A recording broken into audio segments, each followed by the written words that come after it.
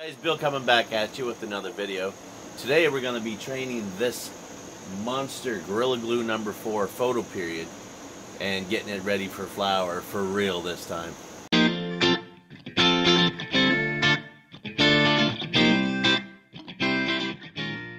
Okay guys, so uh, a uh, little backstory about this Gorilla Glue number 4. Uh, I got it from a friend that got it from his brother. Um, now it was already he had already flipped it to flower, so it was just starting to starting to flower, and he took a couple clones off it, uh, stuck them in solo cups, and they re-vegged and started to grow. So uh, I got one of those, and once it had totally re-vegged, I transplanted it into a seven-gallon fabric pot, which it's in now. So that was October 15th, which is, what is that? It's like two and a half months. So uh, I hadn't planned on letting it go this long. Um, I had actually did a video about six weeks ago where I had taken her and uh, using the schwazzing technique, stripped her up all the way, put her in the bedroom closet, um, which is where I was going to grow her. And my plan was to flip the lights and flip her to flower, but uh, it didn't work out that way. And now here it is six weeks later, and she's massive, which is not a bad thing, but I have a very small little house here. So what I'm going to do is I'm going to try to train her down a bit and uh, find a place for her to, to grow and then flip her. So let's take a closer look at her. Okay guys, so here she is sitting smack dab in the middle of my living room. And there's a couple of five gallon buckets. Uh, those are my curing buckets. And uh, just to give you a size reference, there's my couch. So anyway, she is huge. She is probably, well, not probably, I actually measured it. She's both three and a half feet wide in diameter, pretty much all the way around, and she's about four feet high from the floor.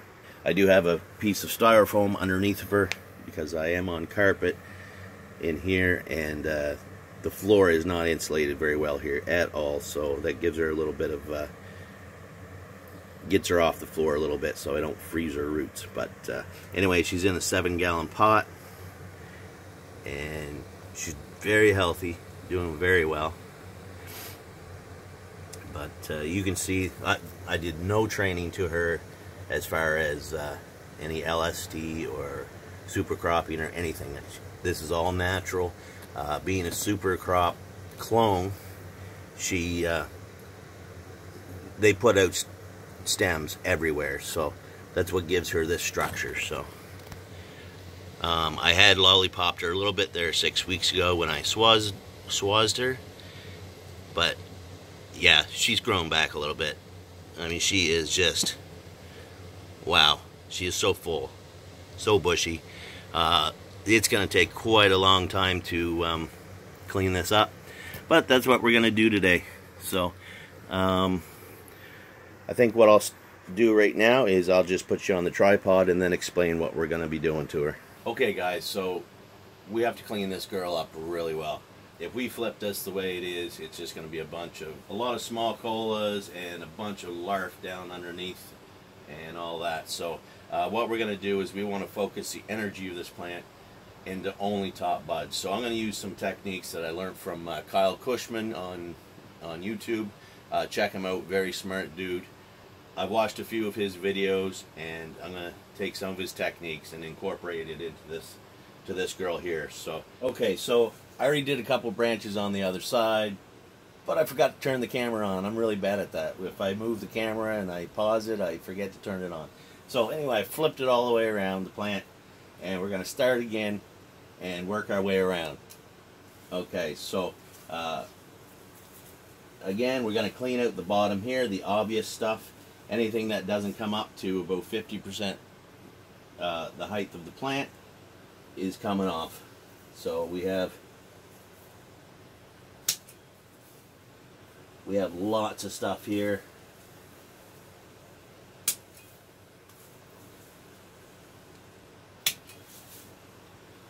Beautiful clone material.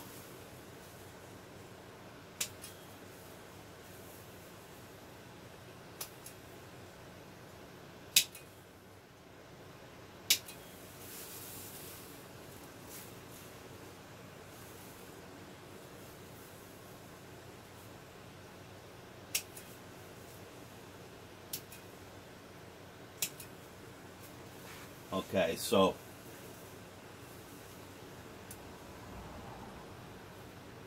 I'm going to bring you in closer here for this so you can see exactly what I'm doing. Okay, I hope I set that right. So what we're going to do is we have this nice beautiful branch here and we have all these side branches coming off it. What we're going to do is we're going to cut off every one of those side branches except for the very top.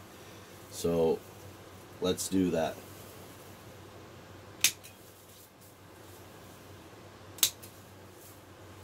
And we're going to leave the leaves for now. I hope you can see what I'm doing here.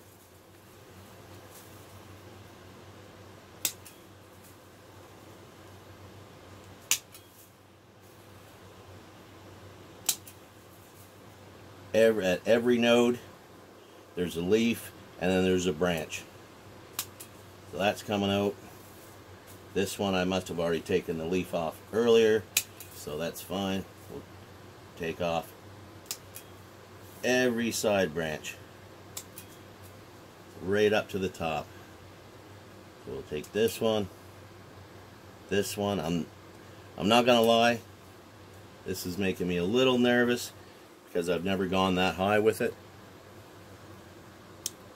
And basically that's that's just leaving us with uh, actually I'm gonna take this one here also all that's leaving us with just a, a couple little nodes here. But oh I missed a big one here. So this complete branch is stripped of side branches and suckers. Now I'm going to flip the lights in a few days and this is going to grow. This even though it's four feet high it's going to be six feet high by the time it's done so we'll have two more feet of growth coming off of this one spot. So even though we've trimmed everything below, that would have all been larf anyway.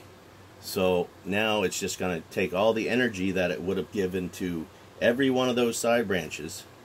All that energy is going to keep going right by that and go into this very top piece here.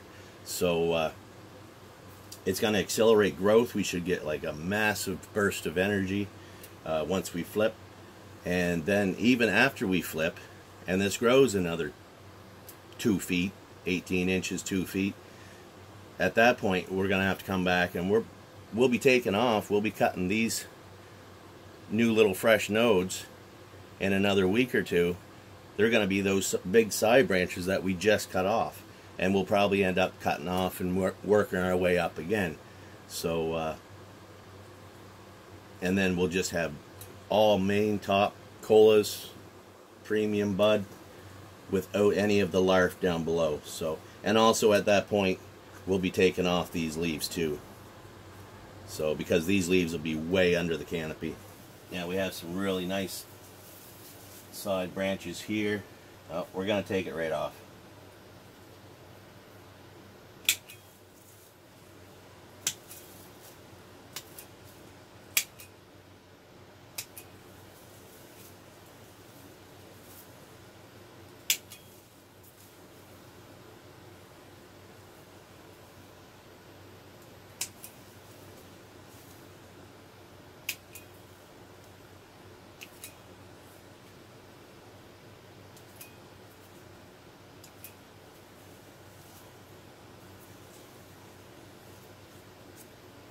There we go. We got that one nice strip there. So now I think what I'll do is uh, I'll just put on some music for you guys and uh, I'm just going to go around and clean it out and we'll come back and talk about it when I'm done.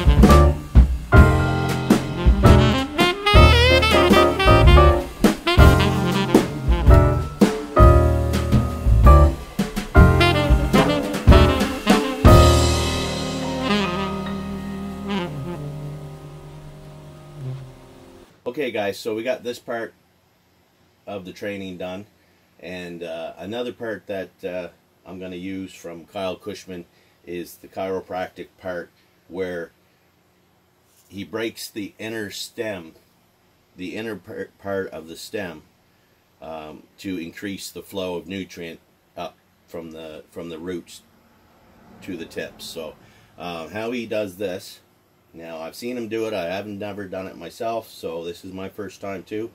I really hope I don't screw this up on camera, but if I do, I do. So what he does is he goes right to the base of his plant. Uh, I'm not going to go right to the base because that's thick. That's a tree there. There's no way you're going to be able to twist that enough to, to make it work. But uh, So I'll come up where it starts to get a little thinner. And what he does is he grabs a hold of it let me see if I can bring you in here. Okay, so so he comes in, you grab it, you secure it with one hand, and then with the other hand you grab a hold of it and you twist until you hear it crack. Let's see if we can do this. Okay, now it, it was very muffled, but you could feel it broke inside. So, and then you go up, you grab about an inch higher and you twist it the other way. Again, I could I could feel it give inside, so I'm not going to go any further. And another inch back the other way. Okay. And there, I did hear that crack. I don't know, you could probably not hear it, but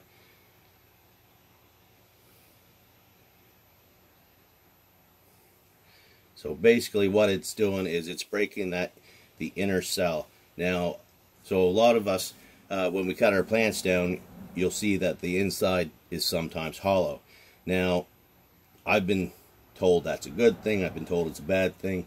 But Kyle Kushman explains it pretty good. Um, the plant doesn't take up nutrients through that like a straw, that hollow part. Uh, it takes it the nutrients up between cells on the outside of that hollow part. So basically what we're doing when we're twisting that is we're creating a, a super highway. We're, we're, we're making more of that cell, that uh, cellular area for the nutrients to come up so they can, they can travel much easier through that. So uh, uh, that he does that for every branch. So I'm going to go, I'm to try this again and see if we can hear it this time. So I'm going to go right down to the base. There, I can feel it give, but there. here to crack there. Crack there. Crack there.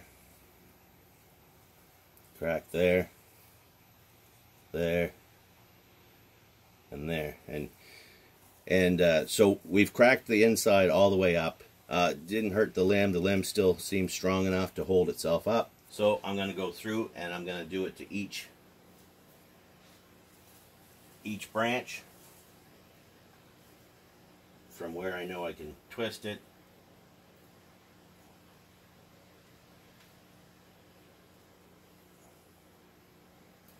Snap. Snap. Snap. Snap. Okay.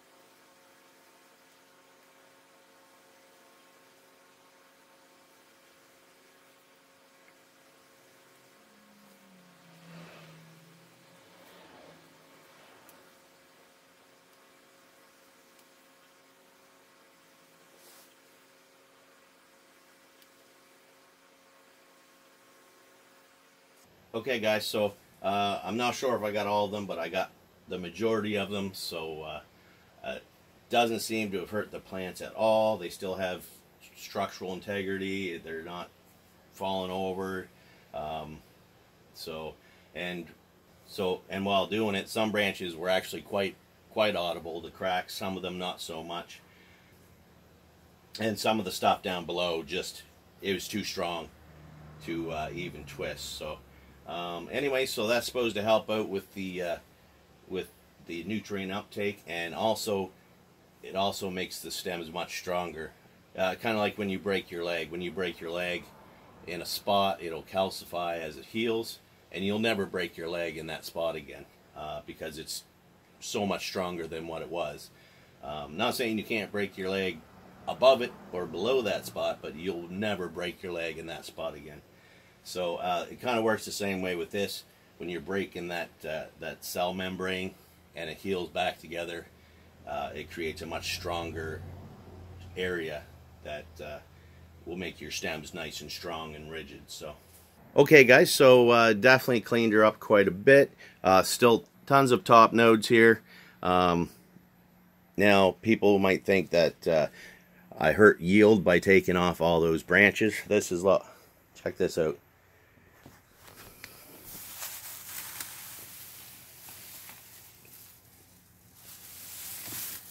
That is a ton of material taken out of that girl. Um, so, yeah, by taking all that out, what we did was we basically just concentrated all the uh, the energy that this girl is going to have is going to be all put up into these top buds. So, so that's it for that one. Um, so be sure to check out Kyle Kushman's chiropractic uh, training method. Uh, that's what I used on this, and I, I hope I did it justice, but uh, it seems to look pretty good to me. Some of it was a little bit scary to do for the first time, but it all seems to make sense to me. And um, yeah, so we'll come back. Now, how big is it now? Let's see. Okay, you guys aren't going to be able to see this, but I'm just kind of eyeballing it. Um, Let's go to that edge there. So we have it, uh, whoop, We'll go there to here. So we're right around three inches. So we we've uh, three feet. Sorry. So we've actually taken off about six inches in diameter off the plant, and uh, so which gives me an idea. Now I think what I'm going to do, I'm not sure. Don't quote me on this. Is I might bring out Shorty from the 3x3 and bring her out here and put the Mars Hydro over top of her and let her finish up out here, um, which is not optimal because there's no reflective area out here. So, but then I'll take this girl and try to move her into the 3x3 because I need an area where I can have complete darkness for 12 hours. And if I do it out here, uh, I don't have another tent, so I would have to rig up something to uh, to uh, completely put her in darkness. So uh, maybe we'll do that. Maybe we won't. Uh, we'll find out next time. And I uh, hope you enjoyed this video. If you did, you can give me a thumbs up if you like. Hit that subscribe button. And share this to all your social media pages if you like to. So, all right, guys. So that'll be it for this one. And I want to wish you guys a Merry Christmas and a Happy New Year. And I think I'm only 100 away from 5,000. Wink, wink. Uh, be a great way to bring in the new year to hit that 5,000 mark. Um, so if you haven't subscribed yet, uh, hit that subscribe button or not. Totally up to you. I appreciate you watching anyway. Okay, guys, we'll see you on the next one. Happy growing.